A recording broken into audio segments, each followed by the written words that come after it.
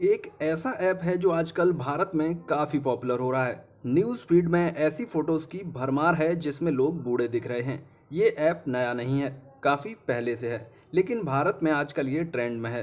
दरअसल इस ऐप में कई फीचर्स हैं जिनमें से एक चेहरे को बूढ़ा दिखाने वाला है। इस ऐप के मुताबिक कंपनी आर्टिफिशियल इंटेलिजेंस टेक्नोलॉजी का यूज़ करके ऐसा करती हैं। ये ऐप 2017 में लॉन्च हुआ था। क्या इसे यूज़ करने में रिस्क है? क्या ये आपके फ़ोटो लाइब्रेरी का फुल एक्सेस लेता है? इस तरह के सवाल लोगों के मन में उठ रहे हैं। इस ऐप को न सिर्फ़ आम यूज़र्स बल्कि अब सेलिब्रिटी भी यूज़ कर रहे हैं और इस वजह से इसे ज़्यादा हाइप मिल रहा है। फ़ोटोज़ को एडिट करने के लिए ये ऐप न्यूरल नेटवर्क यूज़ करता है। न्यूरल नेटवर्क आर्टिफिशियल इंटेलिजेंस का ही एक प्रकार है। न सिर्फ़ एज बल्कि इस ऐप से यंगर लुक जेंडर स्वैप जैसे टास्क भी किए जा सकते हैं। और इसकी प्राइवेसी पॉलिसी क्या कहती है वो भी हम आपको बता देते हैं। जब भी आप हमारी सर्विस यूज़ करते हैं, हमारी सर्विस ऑटोमेटिकली कुछ फ़ाइल इंफॉर्मेशन रिकॉर्ड करती है।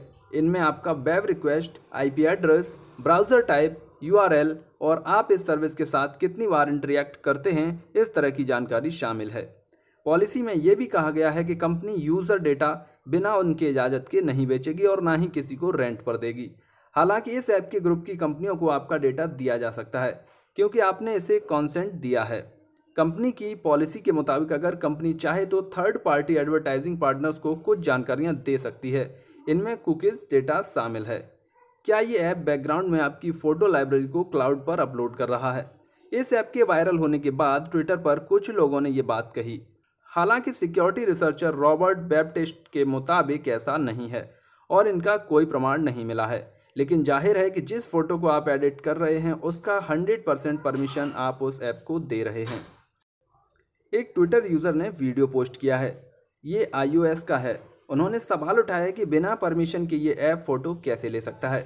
इस वीडियो में उन्होंने दिखाया कि आईओएस की सेटिंग में उन्होंने allow face app to access photos को नेवर पर सेट किया है। यानी उन्होंने इस ऐप को फ़ोटोज़ लेने की परमिशन नहीं दी है। लेकिन फिर जब उन्होंने इस ऐप को ओपन किया तो बिना सेटिंग्स में बदलाव किए ही वो फ़ोटो उस ऐप पर अपलोड कर पा रही हैं।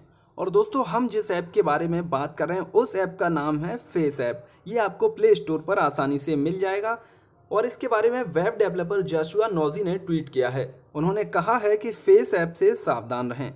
ये फेस एजिंग ऐप बिना आपसे पूछे आपकी फ़ोटोज़ को अपलोड कर रहा है। ये ऐप फ्री है, लेकिन इस ऐप के कई फीचर्स प्रीमियम हैं और उन्हें यूज़ करने के लिए इन ऐप परचेज का यूज़ करना होगा, यानी आपको पैसे देने होंगे। फ़िलहाल प्राइवेसी के सवाल पर फेस ऐप की तरफ़ से कोई स्टेटमेंट नहीं आया है।